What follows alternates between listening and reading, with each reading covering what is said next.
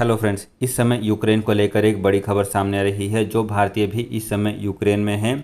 खास करके ऐसे लोग जो कि स्टूडेंट्स हैं या फिर ऐसे लोग जो कि काम के सिलसिले से यूक्रेन में गए हुए हैं। ऐसे सभी लोगों के लिए वहाँ की एम्बेसी की तरफ़ से एडवाइजी जारी की गई है कि आप अपना रजिस्ट्रेशन जल्दी जल्दी एम्बेसी के पास करवा लीजिए। दोस्तों, जैसा कि आप सभी लोगों को पता होगा कि यूक्रेन और रसिया के बीच में इस समय हालात ठीक नहीं हैं और दोनों देशों के बीच में कभी भी यहाँ पर लड़ाई छिड़ सकती है। जिसको देखते हुए यहाँ पर यूएसए और जापान जैसे देशों ने अपने नागरिकों को अपने देश वापस आने की एडवाइजी जारी कर दी है। लेकिन अभी तक भारत सरकार ने ऐसा कोई भी एडवाइजी जारी नहीं किया है केवल और केवल भारत की एम्बेसी की तरफ़ से ये सूचना निकल कर सामने आ रही है